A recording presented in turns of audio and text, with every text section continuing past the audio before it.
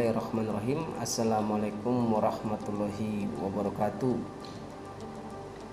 Pada video kali ini saya akan membagikan tips atau persyaratan untuk menjadi seorang TNI Di TNI tersebut eh, ada tiga matra. Angkatan Darat, Laut, dan Udara. Dan untuk pendaftarannya dari Akmil, Bintara, dan Tamtama untuk persyaratan-persyaratan umumnya yang pertama itu harus WNI atau warga negara Indonesia. Yang kedua beriman dan bertakwa kepada Tuhan yang Maha Esa.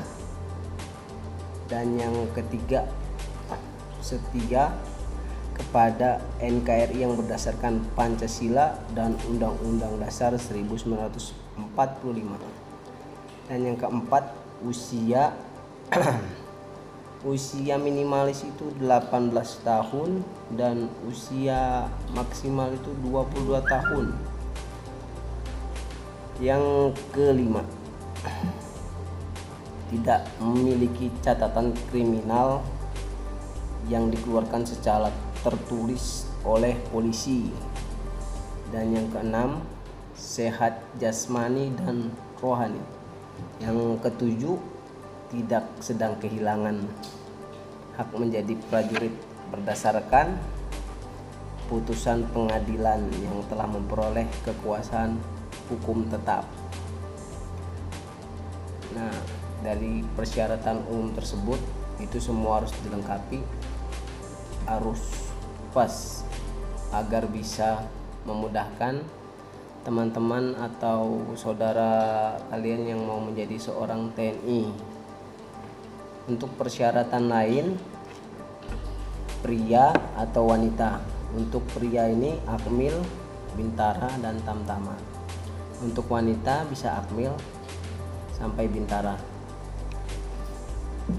Persyaratan lain pertama bukan anggota Polri atau mantan prajurit atau PNS belum pernah menikah dan sanggup tidak menikah selama dalam pendidikan pertama paling lama sampai dengan dua tahun setelah selesai pendidikan pertama. Yang ketiga, memiliki tinggi badan sekurang-kurangnya 165 cm untuk pria dan untuk wanita sekitar 163 cm atau paling rendahnya itu 160 cm memiliki berat badan yang seimbang. Misalnya contoh tinggi kita 165 cm untuk idealnya itu sekitar berat badannya 55 kg itu ideal. Kalau dibawa dari situ misalnya 54 kg atau 53 itu masih ideal tapi setidaknya ditambahlah agar bisa jadi 56 57 bagusnya sih 55 uh, eh, yang keempat lanjut. Bersedia menjalani ikatan dinas pertama selama 10 tahun. Paling lamanya. Yang kelima harus mengikuti pemeriksaan pengujian yang diselenggarakan oleh panitia penerimaan yang meliputi ini untuk tes-tesnya. Administrasi kesehatan garjas atau jasmani mental ideologi psikologi dan yang terakhir akademik. Untuk persyaratan lain yang keenam berijazah minimal ijazah SMA SMA atau SMK untuk menjadi seorang akmil itu jurusannya SMA IPA sesuai kebutuhan. Dan yang ketujuh persyaratan yang paling berat bersedia ditempatkan di seluruh wilayah negara, negara kesatuan Republik Indonesia apabila nanti untuk teman atau saudara yang sudah menjadi seorang TNI. Setelah itu semua sudah lengkap, masih ada lagi persyaratan tambahannya. Yang pertama, harus ada surat persetujuan mengikuti seleksi prajurit TNI AD dari orang tua, wali atau wali dan tidak melakukan intervensi terhadap panitia penerimaan dalam bentuk apa pun, kapan pun, dan di mana pun.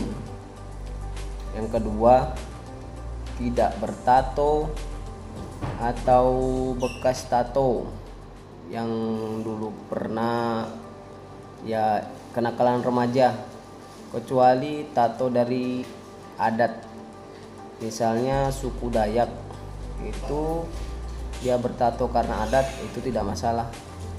Karena memang sudah tradisinya harus ditato. Dan yang ketiga surat rekomendasi dari Babinsa setempat. Sekiranya itu aja sih bahan-bahan yang di, perlu dipersiapkan. Dan untuk berkas-berkas selanjutnya itu pas foto 4 kali 6 KTP pastinya KTP di setempat untuk calon peserta. Yang ketiga KTP orang tua atau wali. Yang keempat akte kelahiran. Yang kelima kartu keluarga. Yang keenam surat keterangan catatan kepolisian atau SKCK dan yang ketujuh ijazah SMA, SMK, SKHU dan yang kedelapan kas kartu peserta UN untuk tata cara pendaftaran tersebut bisa kita langsung datang ke